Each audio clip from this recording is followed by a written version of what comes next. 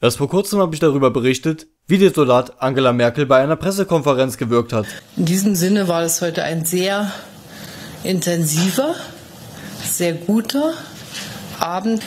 Und habe mir die Frage gestellt, ob sie eventuell unter Medikamenten oder unter Alkoholeinfluss stand. Und nun ist wieder ein Video von ihr aufgetaucht, das zumindest bei mir den Verdacht bestätigt, dass mit unserer Kanzlerin irgendetwas nicht in Ordnung ist. Da Bilder mehr sagen als Worte, lasse ich euch das Video einmal abspielen.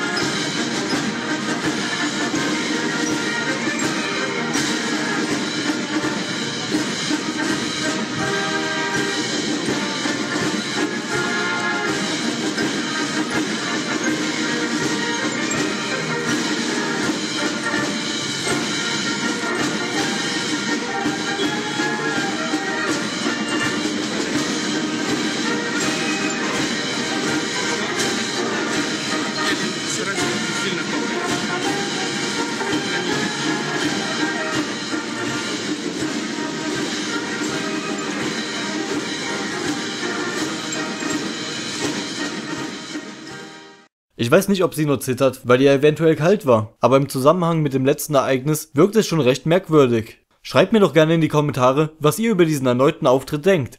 In der Zukunft werde ich euch natürlich weiterhin über Angela Merkel auf den Laufenden halten und euch mit interessanten und unterhaltsamen Videos über die Politik sowie die Legalisierung versorgen. Ich wünsche euch allen noch einen schönen Tag.